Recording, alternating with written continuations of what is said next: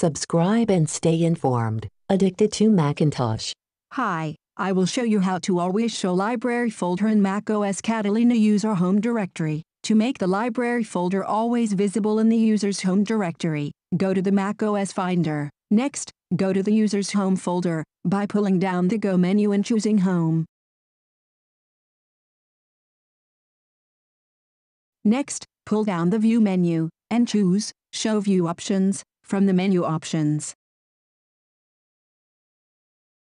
Now, locate the setting for Show Library folder and toggle it so that setting is checked. This will instantly display the user's library in the home directory. Set how it comes and goes when I check and uncheck the Show Library folder setting.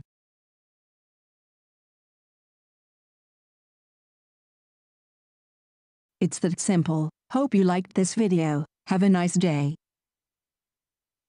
Subscribe and stay informed. Addicted to Macintosh.